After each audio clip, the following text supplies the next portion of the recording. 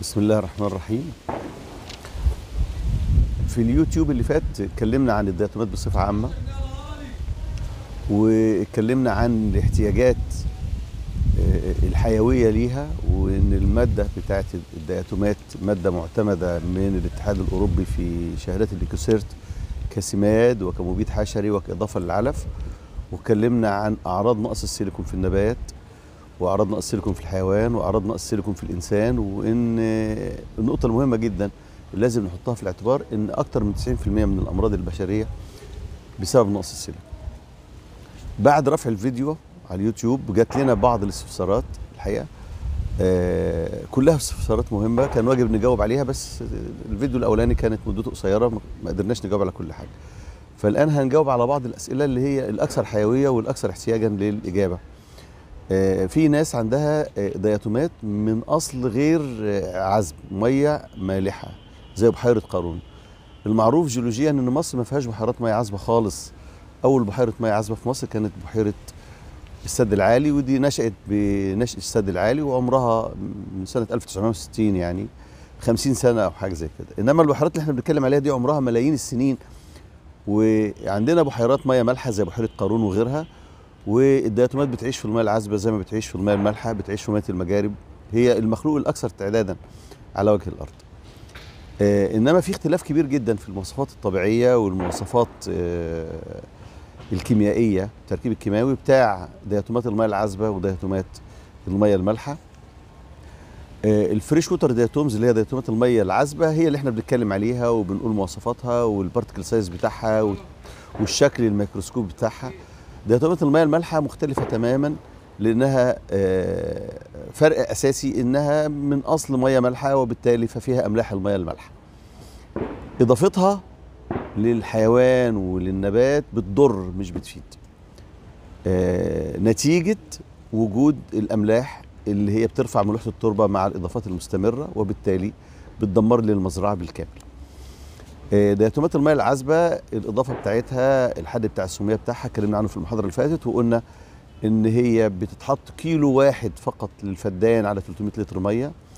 هي بتذوب في المية آه وبتدينا التأثير بتاعها نتيجة الجزء اللي داب في المية والجزء اللي ما دابش في المية شكله ميكروسكوبيا زي الاسفنج كده بس حاجة ميكروسكوبية لما تتكبر 7000 مرة تقدر تشوفها بالعين المجردة.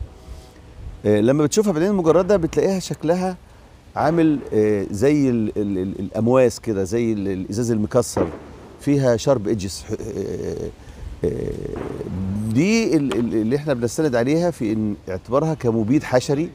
بتبيد الحشرة نتيجة المواس دي إن الحشرة لما تمشي عليها بتدمر رجليها لما بتاكلها بتدمر غشاء المبطن للفم لما آه، بتتحط مع البذور المخزونة وتتحرك الحشرة في وسطها بتقطع ال cuticle surface الطبقة ال- ال- القشرية ال- الخارجية بتاعه الجلد بتاع الحشرة اللي بتحميها ضد الجفاف وتمتص السوائل اللي موجودة في جسم الحشرة لأنها بتمتص 400% من وزنها مية فالحشرة في الحالة دي بتموت بالتجفيف.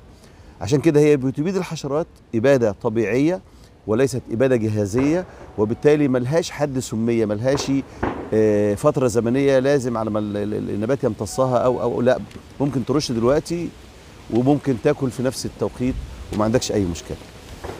آه، التركيب الأساسي بتاع الدياتومات اللي هي ال fresh water diatoms اللي من المنجم اللي إحنا بناخد منه في موزمبيق إن هي من 85 إلى 93% ثاني أكسيد السيليكون.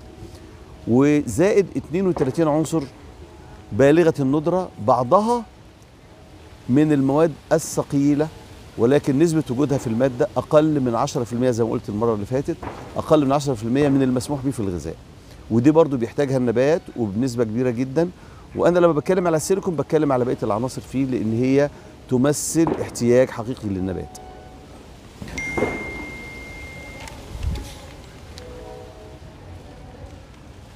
بالنسبة لدورها في الملوحة لو إحنا فهمنا كويس قوي ال mode of action بتاعها في النبات هي بتمتص بمجرد رشها على النبات ورقيا أو في مية الري بتمتص من الجذور وتعمل تزجيج لجدار الخليه وبالتالي تزجيج لل surface بتاع النبات. فلو اتكلمنا عن الجذر بتاع النبات اللي هو اللي بيتأثر بالملوحة عندي بيبقى عليه غلاف من السيليكون. هذا الغلاف من السيليكون بيبقى بالنعومة الكافية اللي تمنع ترسب الأملاح عليه. الأملاح بتأثر على النبات إزاي؟ إنها بتترسب على على الجذر بتاع النبات وتبدأ تعمل ضخ عكسي للمية. بدل ما النبات بيمتص المية من التربة لا الأملاح دي بوصفها تركيز أعلى بتمتص المية اللي في النبات تخرجها للتربة تاني. لما إحنا بنشكل الجدار الزجاجي على الجذر بيمنع هذا التأثير. وبالتالي بتبقى الملح موجود ولكن تأثيره غير موجود. ويبقى الاسموزز بتاعت النبات وقدرتها على امتصاص المية في وجود الملح عالية جدا. فتأثيرها على الملوحة مشاهد وبالتجربة. مشاهد وبالتجربة. تقدر تجربه. وإحنا عندنا تجربة اتعملت في آه، مركز البحوث الزراعية مع دكتورة اسمها عزة في قسم الإعلاف مع الدكتور آه، محمد آه، هفتكر لكم اسمه دلوقتي على البرسيم against ال salinity وكنا متعمدين نحط مية مالحه نروي بيها ال control ونروي بيها الشاهد ونروي بيها التجربة. مقارنه بإضافة ال- الدياتومات على ال- التجربة. والنتائج كبيرة جدا وهنشر لكم صورها إن شاء الله. يعني نقدر نعتمد ديت إن هي مثلا أرض المية الملوحة فيها 5000 أو 6000 ممكن. آه، أقدر إن أنا أزرع. طب كيفية استخدام بقى المنتج ذات نفسه مع الملوحة دي؟ يعني هل بيترش مع في الزرع؟ هل بيتحط جنب الزرع؟ هل بيتحط في في النقطات؟ إيه كيفية استخدامه في الملوحة دي؟ السؤال حضرتك وجيه إحنا بالنسبة للمية للميه المالحة والتربة المالحة وبالنسبة حتى لشيء تاني غير النماتوده بالنسبة للهالوك مع الفول بنجيب البذور قبل الزراعة بتاعتها وبنضيف عليها الدياتومات مع أي مادة لاصقة زي العسل الأسود زي الصمغ زي ده ده وبنقلبها تقليب متجانس بحيث بتعمل تغليف للبذرة بالكامل وبعد كده بنعمل عملية البزار بتاعه المحصول بتاعنا. فبتبقى من أول اللسان الابتدائي اللي هو الجزير اللي بينشأ مع بداية آه، وضع البذرة في التربة بيبقى هذا الجزير بروتكتد الجذور التالية بتبقى آه، محمية من الملوحة وبنشوف أثرها لأنها بنحط مجموعة كشاهد بدون إضافة ومجموعة مع الإضافة. وبنلاقي الفرق موجود بصفة أنا شخصيا بقراها في نفس اليوم أو تاني يوم. يعني الأثر بتاعها بيبان. زي ما إحنا كده بنخش مثلا ال- ال- ال- ال- البستان بتاع العنب أو ال- الكرمة بتاعت العنب وفي بداية ال- ال- الانتفاخ بتاعت البراعم بتاعتها بنقدر نقول إن خلاص بدأت ال- ال- السوائل تتحرك آه، جوه الساق بتاعتنا. فده نقدر نقراه في البراعم الجديدة الناشئة وهي لسه قبل أن تنشأ. مجرد إنها بتنتفخ خلاص عرفنا إن بدأ يتحرك.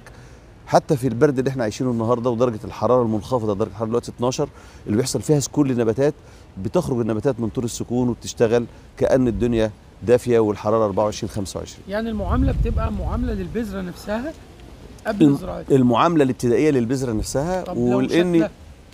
لو شتلة بنحطها تعفيرا على الجذور الخارجية للشتلة سواء اللي خارجة من الكيس أو القصيص بتاعي بحيث ما يحصلهاش صدمة نتيجة الملوحة العالية في بداية حياتها وبنضيف لها جرعات بعد كده طبقا للملوحة بتاعة المية عشان يبقى عندي توازن في الأداء.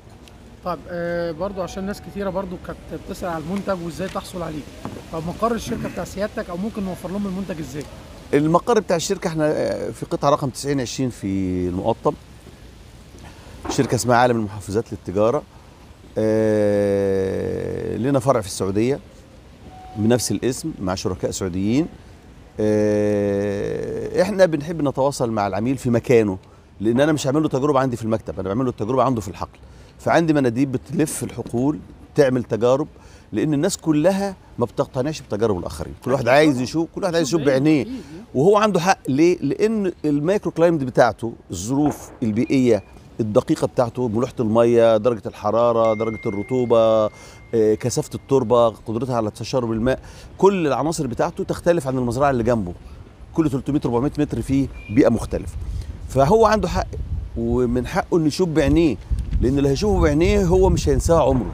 غير ما نقعد أدي محاضرة وأتكلم في فيديو وأحلف له الكلام النظري دي كله لا يسمن ولا يغني من جوع. الناس كلها بتتكلم. أكيد. أنا مرة كان عندي عميل اسمه آه، بيري جيرجسون ده كان landscape manager في مزرعة اسمها آه، نوفا في السعودية بتاعت سمو الأمير آه، محمد بن سعود هناك صاحب مزارع المراعي.